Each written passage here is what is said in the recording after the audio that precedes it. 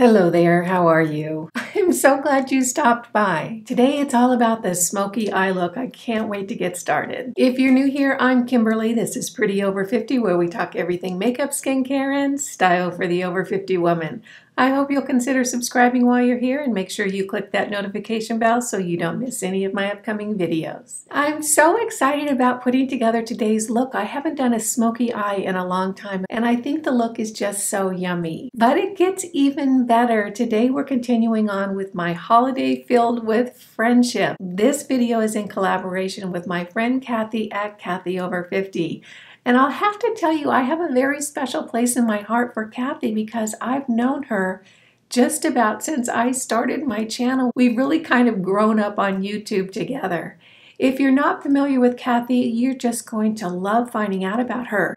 Her channel is so informative and so helpful. One thing that Cathy really excels at is tutorials for more mature skin. She does everything from how to put on your concealer to how to make your foundation work better to how to work with hooded lids. She is really such a wealth of information and has really done a deep dive into the things that matter to us over 50 women. Cathy's going to be joining me in this smoky eye look today. I'm really excited to see her video because you know, we all do our makeup differently, so I'm sure that there's some tips and tricks I'm going to be able to learn from her. Cathy's video will be listed down below. Make sure that you stop by there, see the fabulous look that she puts together, like the video, and subscribe. You're going to love having Cathy in your life. I have lots of new makeup products to try in this video. I'm really excited about them. I have a new palette from Profusion, a glow kit from Anastasia of Beverly Hills, a new color in the baked blushes from Milani. I think I probably have almost all the colors in this baked blush line. They're so very good. I'll be trying a new lash primer and a new mascara today. The primer is from Lancome and the mascara is from Clinique. And I have a new lipstick from the Milani matte line. This has been so popular. They're sold out everywhere, but I got lucky and found this one in my local store. As always, all products that I use and mention today will be listed and linked below, so super easy for you to find. And with that, Let's hop into it. Today on my lips, I'm going to be using the City Lips Plum Springs Plumping Lip Gloss. I've fallen in love with this color. It's kind of a chocolatey, mauve shiny. It's so very pretty. I always like to put on one of their plumping lip glosses while I do my makeup because my lips are a little bit fluffier at the end of my makeup. The lines are softer. They just look better when they're more hydrated and plumped up. Before we hop into the makeup, I want to talk about a few products that I used getting ready for the makeup. I picked up the Peter Thomas Roth Water Drench Hyaluronic Cloud Cream Hydrating Moisturizer. That's a long name. In the Sephora sale, and I've been testing it for the last couple of days. What I can say is that it really is a beautiful formula. You can see it right here. It's a thicker cream. I like it very much. It feels wonderful on the skin. I'm still not convinced of the price point.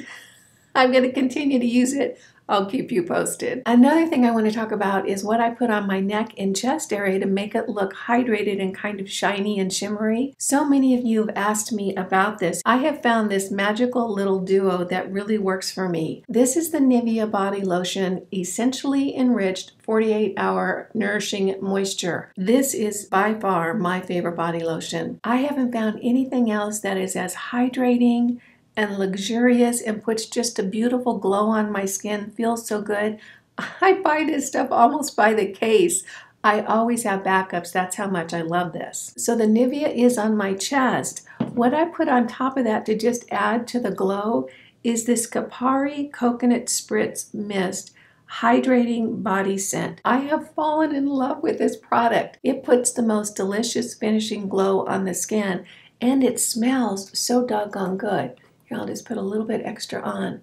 So I just spray that on my chest area and rub it in, and anything left I just put onto the backs of my hands.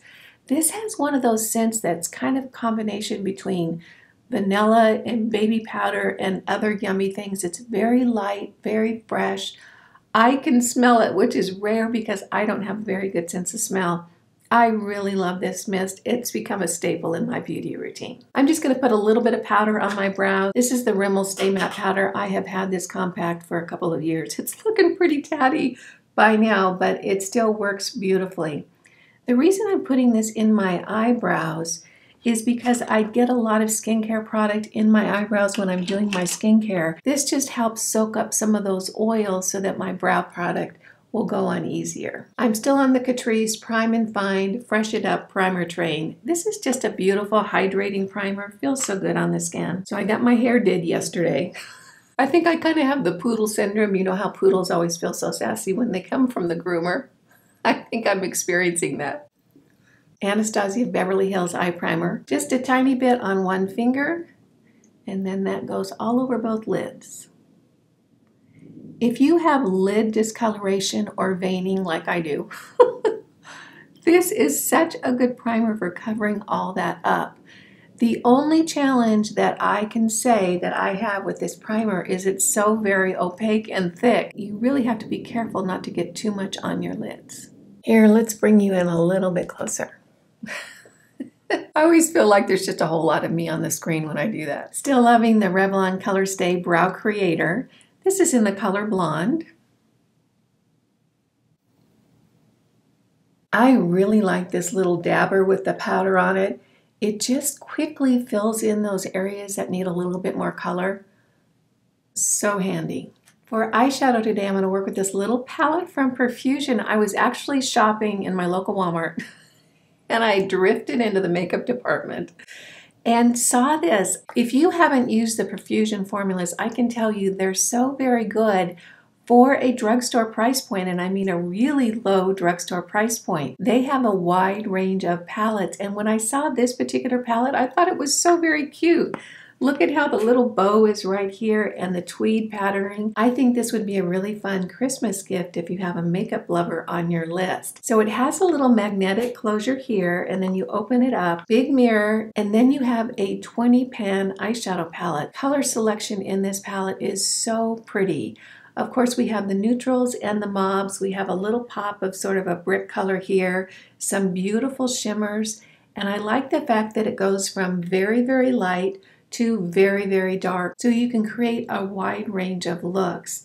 I have always been very satisfied with the Profusion eyeshadows. They're not too chalky, they lay down nicely, not too much fallout. Of course, I haven't used this palette yet, so we'll see together how the formula works out. Here's a selection of the colors from the palette. I think this is a very beautiful colorway. It is warmer, but there are some neutral tones in here. Very, very versatile. I'm going to lay down a base color all over the lid from top to bottom just to create a good foundation for the darker colors that come next.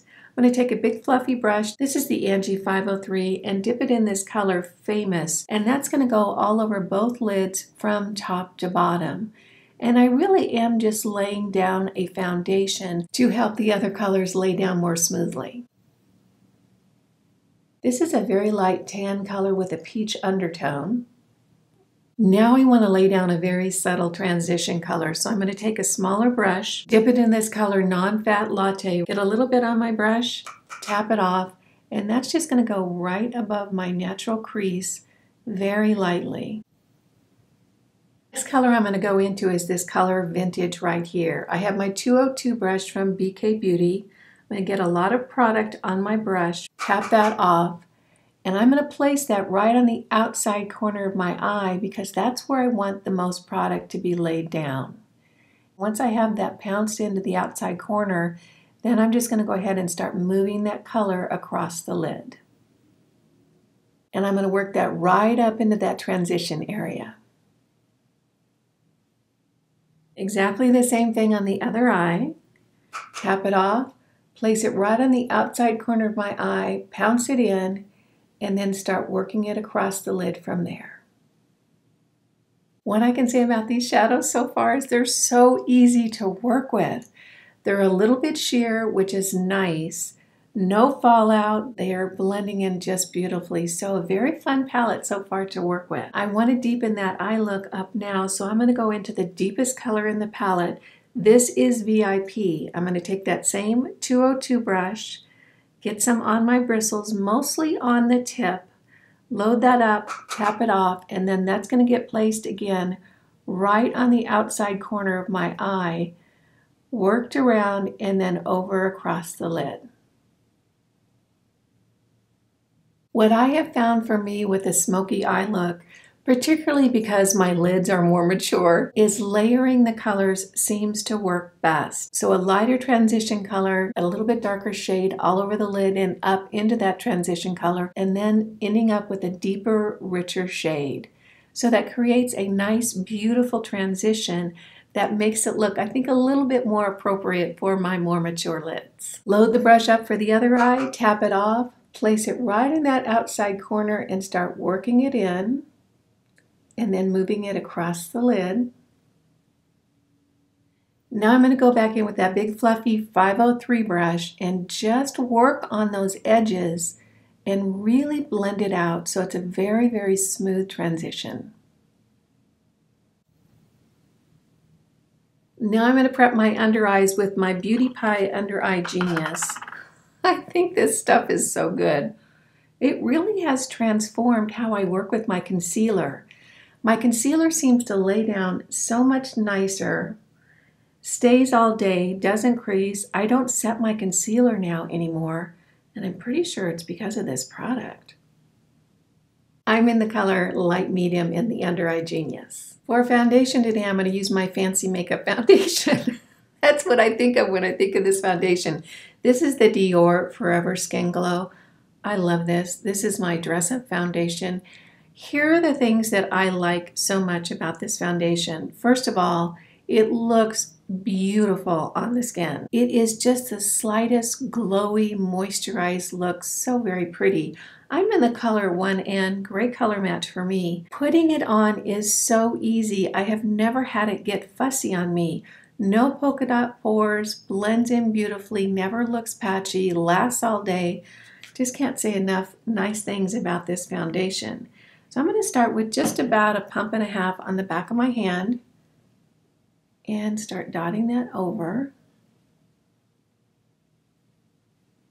You know, I'll have to say I'm so surprised at how easy those shadows were to work with. They just went on beautifully. I am using a Beauty Blender sponge. I got this in one of those little gift sets from Sephora. I have never used the actual Beauty Blender before and I'm testing it to see how I like it. My favorite sponge for over a year now is the Sigma sponge. I love this thing. Everything from that very pointy little tip to the way this sponge feels in my hand. I love everything about this. But since I've been using this for over a year, I thought I should try another sponge. So far, I like this sponge. I can't say that I like it more than my Sigma sponge. It is very soft and bouncy. I think what I might miss is that really, really pointy tip. This has a pointy tip clearly, but it's not like the Sigma sponge. So I will check back in with you in a couple of weeks and let you know my thoughts on the Beauty Blender. This foundation just never fails to look glorious. it's so pretty. I can say this is one high-end makeup product absolutely worth the investment. For concealer today, I'm using the Lancome Tint Idole. I'm in the color 10 or 110. I'm not sure which one is the right one. They're both on the back of the packaging. Fairly large doe foot applicator, a little bit under each eye. I always start with the BK Beauty 205 brush and just spread that out underneath my eye and down onto the side of my nose a little bit. And then take my sponge and blend that in. Today I'm going to contour and do bronzer. This is the Fenty Beauty Contour in the color Amber. Love this. So I'm just going to put a little bit in the areas that I want to create some definition. And then down along my chin line.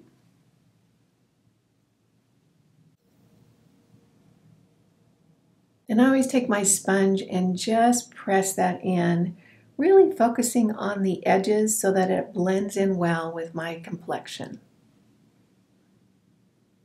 I want the bronzer to be a little bit more subtle today. I'm going to be using the L'Oreal Lumi Bronzer. You can see how much I love this. This is just such a beautiful color. It's subtle and yet it does create that deep, richer glow on your skin. You can see what that pass right there just did. So pretty. A little bit over the nose. The blush today is Sunset Passion from the Milani Baked Blush line. I have probably six or seven of these baked blushes now. Every color is beautiful. It really is such a great line of blushes. I did not have this color in my collection and I saw it in my local store and I went ahead and grabbed it because it's been sold out online for a while so I went ahead and picked it up. Haven't used this yet. We'll see how it goes today. Get a little bit on my brush, tap it off, and I just want to go very gentle with this. Because the eyes are the focus of today's look, it's my goal to make the rest of the face just a beautiful canvas to really let the eyes pop. So just a soft application of this. Gosh, that color is so pretty. Whew. Every time I use one of these blushes, I think that color is so pretty. They're all so very pretty. I have yet to pick up one of these baked blushes that I thought, you know what, this one's a dud. it just hasn't happened. I'm going to work that up high on my cheeks because I want to pull the focus up. Now I'm going to take a big fluffy brush and just blend that in. Gosh, that is so pretty. Just love that. For highlight today, it's an Anastasia Beverly Hills Glow Kit. This is in the colorway Sugar, and I'll tell you what, I ordered this online. I hadn't seen them really in stores. I was stunned when it came in. Look at how huge that is. That is just a ton of product in this palette. We have four colors here and most of them are fairly light and fairly soft. So this is Marshmallow, this is Gumdrop, this is Butterscotch, and this is Stardust. Let's go ahead and see what those look like. It's a beautiful range from a very, very icy color here. We have a soft white gold into a pink and then a more yellowy gold beautiful colorway in this palette. I think these are actually a really great value. I can see the duochrome shift in this pink right here. I'm not sure if you can or not. Really, really pretty. Lots of product in this palette. I think all the colors are super wearable. I'm going to dip right into this color Stardust right here. It seems to be the most icy of them and I want to keep it fairly neutral in the color and just really go for the glow. I'll tell you what, that's a really powerful highlighter. Take a big fluffy brush and I'm just going to blend that in. Melt it into the skin and now it's just a beautiful glow. I think it's really pretty. Put just a little bit right underneath my brows. I'm going to finish off the complexion with the Milani Prep Set and Glow. No surprise to any of you, I'm sure. Just pounce that all over the skin. I'm going to take a big fluffy brush and go back into the eyeshadow. And what I'm really focusing on is blending out all the edges so that it looks very, very smooth as it goes from the eyelid on up. With a smoky eye look, I like to put on eyeliner to ground that color into the lashes. This is the L'Oreal Le Liner. This is the liner I use all the time. This is Noir Cashmere, which is their black. It's not actually a black black. It's more like a really, really deep charcoal. So I'm just going to run that right along the lash line. And before that has a chance to dry down, I'm going to take a tiny little angled brush and just smudge out that line so it looks smoother on my a little bit crepey lids. I always like to curl my lashes before I tightline. This is the Rephr eyelash curler. It's my new boyfriend. I swear I love this thing. Not only does it feel so comfortable when I'm using it, it curls my lashes so well. Look at that. Isn't that amazing? I love this thing.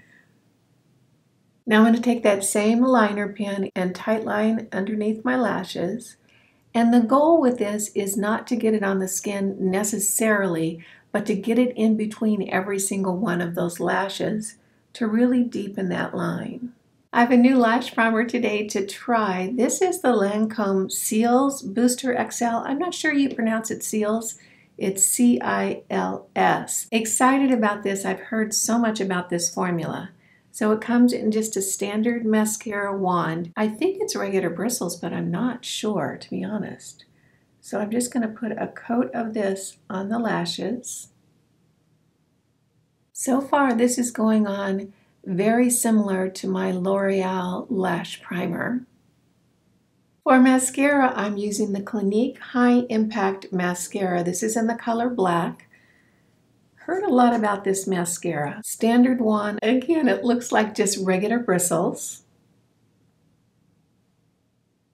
This is going on very smoothly. Seems to be lengthening a little bit. So here we have one coat of the Clinique against the other eye with no mascara on it.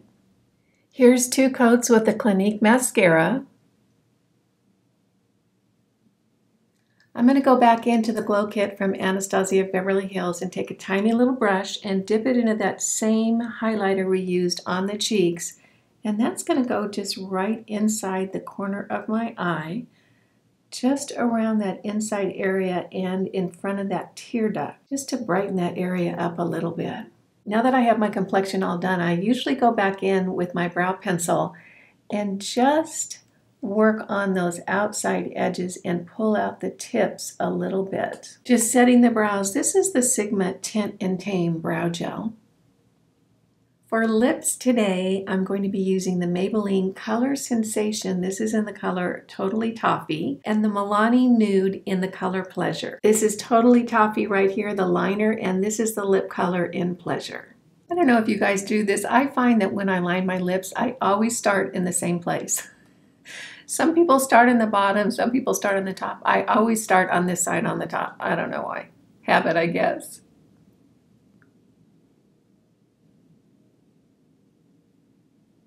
I'm just going to smudge that out a little bit. I don't want to bring it down all over the whole lip because I want to keep the lightness of the lipstick.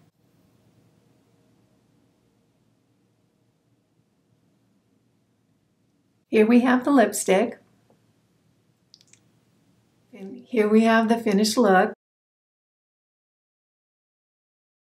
With you. I absolutely love this smoky eye look. You know, initially a few years ago, I might not have thought that it would be appropriate for my more mature skin, but I'm really loving the look today. This little Profusion palette is so very good. And you know what? I don't know the name of it because there's nothing on it that says the name of this palette, but you can tell it by this cute little packaging right here and this little bow. It's so sweet. The colorway in this palette is gorgeous. The shadows were wonderful to work with, truly. No fallout, blended in beautifully, not patchy, lovely, lovely shadows. Gosh, you guys, I think this palette is under $10. If it's not, it's right around there. A great value for a very complete palette. All the tones from dark to light, really a great offering from Profusion. The Milani Baked Blush in the color Sunset Passion. Is that the color or is it Passion Sunset?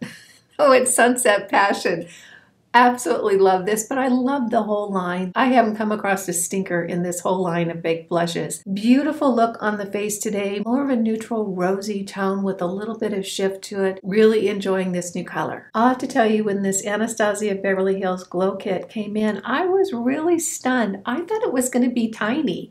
It is huge and there is so much product in this palette. The color that I used on the face today is this Stardust and you can see the glow right here melts into the skin, no visible product other than that just beautiful glow. Really, really a fan of this. I think it's a great value. You get so much in it. Quality product, beautiful colors, loving this one. The eyelash combination today of the Lancome Booster, this is the mascara primer, and the Clinique High Impact Mascara. Naturally, I would compare it to what I've been using lately, which is the L'Oreal Lash Primer and the Maybelline Sky High Mascara. The lash primer works very similar to the L'Oreal. However, this formula might be a little bit thinner and goes on a little bit more elegantly than the L'Oreal. Although I can't say I love the look of the L'Oreal primer. I'll keep working with this and I'll probably have a really definitive opinion about it in a few weeks. The Clinique High Impact Mascara, easy to work with. It does lengthen for me, not so much volumizing. It does create a softer, more fluttery lash than the Maybelline Sky High. I'm enjoying both of these. It's just a different look for my lashes. The Pleasure Lipstick from Milani Milani came out with a whole line of mattes, and I think there's six or seven in the line. I think someone posted it on TikTok and the whole line went viral. They sold out immediately. They're still selling out on a lot of sites, so they're harder to get right now. I did find this one in my local Walmart. I just went ahead and grabbed it because I know how difficult they are to find these days. I do like the formula. I can't say it feels as hydrating as my Huda or my Charlotte Tilbury mats. Although it is comfortable, it's not drying. It doesn't feel like a dusty, dry matte lipstick on my lips. I do like this color very much, particularly when I want to put emphasis on the eyes.